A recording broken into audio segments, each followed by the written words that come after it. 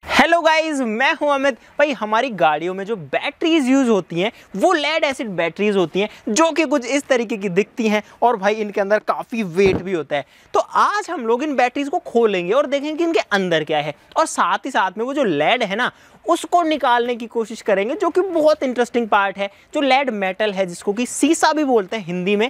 तो वो किस तरीके का दिखता है, क्या उसको निकालना पॉसिबल हो पाएगा तो ये तो करने के बाद में पता लगेगा। तो फटाफट शुरू करते हैं और आप लोग प्लीज़ ऐसा कुछ भी ट्राई मत करना, क्योंकि इनमें एसिड होता है सल्फ्यूरिक एसिड आप जो करना, वो नीचे एक लाइक का बटन है, बस वो दबा देना और चैनल को सब्सक्राइब कर लेना, बाकी तो हम पे छोड़ देना तो शुरू करते हैं।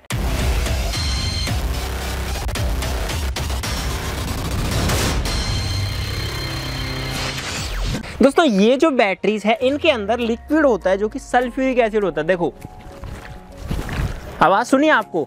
तो जो है, हमको सबसे पहले तो इसका एसिड निकालना पड़ेगा। और भाई, यहाँ पर आप लोग देखिए कि इसके अंदर छह सेल्स हैं। एक जो सेल है, वो दो वोल्ट का होता है तो टोटल ट्वेल्व वोल्ट की बैटरी हो गई। और यहाँ पर देखो, आपको ये लिक्विड भी दिखेगा, ये एसिड है। तो सबसे पहले भाई, इसको सेफली कलेक्ट करना ज़रूरी है। मैंने ग्लव्स भी पहने हैं। देखना, ये आ गया भाई एसिड ये कॉन्सेंट्रेट नहीं है डायल्यूट है।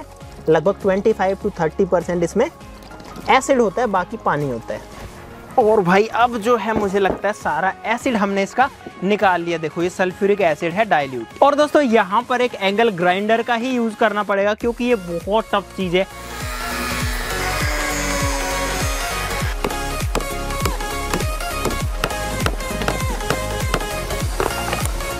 और भाई, ये जो पाउचेस हैं, यहाँ पर आपके सामने बाहर आ चुके हैं। देखो, ये होता है लेड बैटरी के अंदर, और भाई, ये बहुत भारी है।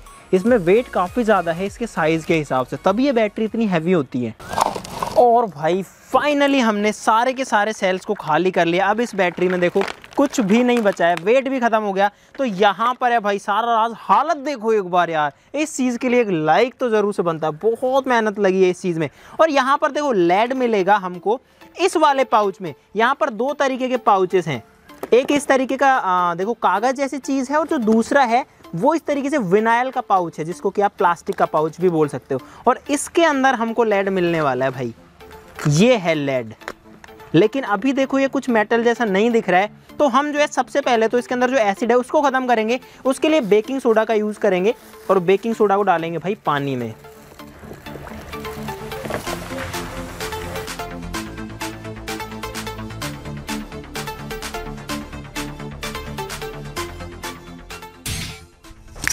भाई, आज है दूसरा दिन और हमारी जो लेड की प्लेट्स हैं, वो है यहाँ पर। मैंने इनको निकाल लिया है बेकिंग सोडा सॉल्यूशन से। ये जो है एकदम न्यूट्रलाइज हो चुकी है, इनका जो एसिड है, वो खत्म हो चुका है। लेकिन यार, एक चीज़ है कि ये जो प्लेट्स है ना, बहुत हैवी है यार। देखने में इतनी सी है बट इनमें वज़न बहुत है। तो अब इसमें से लेड मेटल निकालने की बारी है। तो चलो, आ जाओ। तो भाई, हम लोग जो है, एक इस तरीके की गैस टॉर्च का यूज़ करेंगे इसको। गर्म करने के लिए तो आपको दिखाते हैं कि क्या होता है।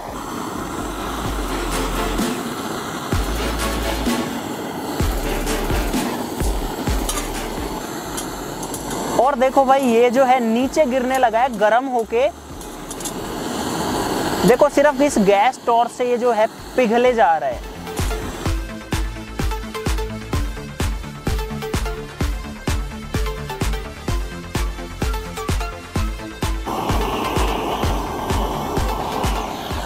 भाई, इसके अंदर मैंने तीन प्लेट्स को गर्म किया है तो देखते हैं कि तीन प्लेट्स में कुछ मेटल निकलता है या नहीं। और यहाँ पर भाई, आपके सामने आ गया है ये लेड मेटल देखो इसको। और भाई साहब फाइनली जो लेड है, वो तो हमारी बैटरी में से हम निकाल चुके हैं। सिर्फ़ तीन प्लेट्स में इतना से लेड निकला है बट मुझे लगता है कि इसमें और लेड निकलेगा। हम इसको अच्छे से गर्म नहीं कर पा रहे तो इसको भट्टी में गर्म करते हैं। और भाई जो लेड की फ्यूम्स होती हैं, जो इसकी गैस होती है ना लेड की, वो टॉक्सिक होती है, वो जहरीली होती है तो प्लीज़ ऐसा कुछ भी ट्राई मत करना। तो आप लोग देखो कि एकदम ये रेड हॉट लाल हो रखा है बट ये जो है एक लिमिट तक ही गर्म किया हुआ है। तो भाई, अब देखते हैं कि हम इससे लेड मेटल को निकाल पाते हैं या नहीं। और देखो, इस फ्यूम्स की बात कर रहा था मैं जो इसमें धुआँ निकल रही है ना। और यार, ये तो साथ में कचरा आ गया। इसको धीरे धीरे डालने की कोशिश करते हैं। ये है लेड मेटल ओहो, यार इतना सारा निकला इसमें। वाह यार, मुझे जितनी उम्मीद थी उससे ज़्यादा निकल गया इसमें, देखो। इसको थोड़ा जम जाने देते हैं और बाकी लेड को इस ईंट में निकाल लेते हैं। तो भाई साहब, आपके सामने जो लेड मेटल है, वो यहाँ पर आ गया है। और इसके अंदर मेरे हिसाब से अब सिर्फ़ कचरा रह गया है। बिल्कुल। और यार, ये ईंट में किस तरीके से पैक हो गया है भाई फाइनली दो दिन की मेहनत के बाद में लेड मेटल हमारे हाथ में आ चुका है। और जो सबसे पहली चीज़ है, वो है भाई इसका वेट ये बहुत ज़्यादा भारी है। क्योंकि लेड की जो डेंसिटी है, वो 11.3 बहुत ज़्यादा, लोहे से भी ज़्यादा भारी होता है। लेकिन ये जो लेड है, देखो प्योर नहीं है। तो एक काम करते हैं, इसको थोड़ा रिफाइन करते हैं। देखो, अभी ये जो है, इस पर ईंट भी लगी हुई है, और मुझे लगता है इसमें थोड़ा कचरा भी है, लेकिन ये बहुत हैवी वेट है। तो इसको जो है रिफाइन करने के लिए मैं इसको इस पैन में डाल रहा हूँ, गैस स्टोव को ऑन करते हैं।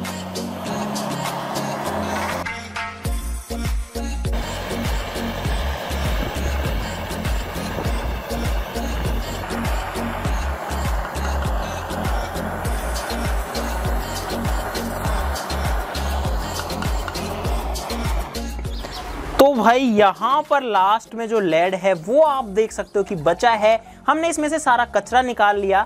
और अब एक काम करते हैं, इसको थोड़ा और हीट करते हैं और इस कटोरी के अंदर डालते हैं ताकि ये इसमें सेट हो जाए।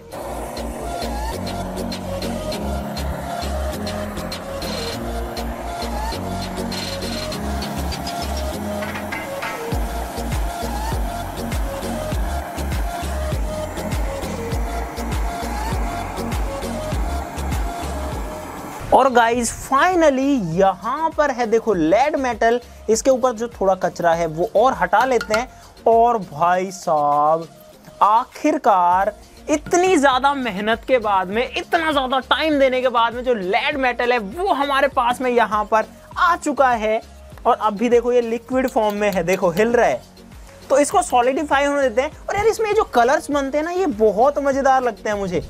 देखो इवन अगर मैं थोड़ी लेयर हटा भी दूँ, देखो एकदम चमकदार मेटल निकलता है, लेकिन थोड़ी देर में फिर से वही बन जाता है। यार, ये कितना क्लीन बनता है एकदम से, जैसे मिरर होता है ना। यार, ये मस्त चीज़ है यार सीरियसली तो एक काम करते हैं, पहले तो इसको ठंडा कर लेते हैं। और आप लोग देख ही सकते हो कि ये कितना ज़्यादा गर्म है। और भाई, लगभग 10 मिनट इसको ठंडा होने के बाद में अब हम पानी को निकाल सकते हैं। और फाइनली जो हमारा लेड मेटल है, वो भाई सीधा मेरे हाथ में ही आ गया है। और यार, कितनी मेहनत करी इसको निकालने में। और देखो कितना बढ़िया शेप में ये बना है। यार, मज़ा आ गया। और ये बहुत हैवी है। यही चीज़ मुझे बहुत देर से फील हो रही है, इसका वेट तो एक काम करते हैं, इसका वज़न नापते हैं। साइज़ देख लो आप, ज़्यादा बड़ा भी नहीं है। तो यहाँ पर हमारे पास में ये वेइंग मशीन इसको चालू करते हैं। तो भाई मशीन हो चुकी है ज़ीरो, इसको रखता हूँ इस पर और भाई इस छोटे से पीस का जो वज़न है वो सात ग्राम दिखा रहा है। देखो यार 781 ग्राम्स इतना सा टुकड़ा है लेड का। और भाई फाइनली जो मेटल है, वो हमने बैटरी में से निकाल लिया है। कहीं से खरीदा नहीं है, खुद ने निकाला है हमने। गाड़ी की बैटरी में से कितना अमेजिंग है ना यार। और ये काफ़ी हैवी है। ये चीज़ मुझे इसकी बहुत फील हो रही है। तो भाई लेड आ गया हमारे साथ में। आप लोग प्लीज़ ऐसा कुछ भी ट्राई मत करना, क्योंकि जो लेड है वो टॉक्सिक होता है। ऐसे मेटल फॉर्म में इतना नहीं होता बट ये बॉडी के अंदर नहीं जाना चाहिए वेपर फॉर्म में या कैसे भी करके। तो अगर आपको आया इस वीडियो में मज़ा तो लाइक ज़रूर से कर देना। चैनल को सब्सक्राइब कर लीजिए ऐसी और मस्त मस्त वीडियोस के लिए। तो चलो फिर मिलते हैं अगली वीडियो में, तब तक के लिए नमस्कार। भाई प्लीज़ वो लाइक का बटन दबा दो। बहुत मेहनत लग गई इसको निकालने में। इतना सा टुकड़ा है। बाय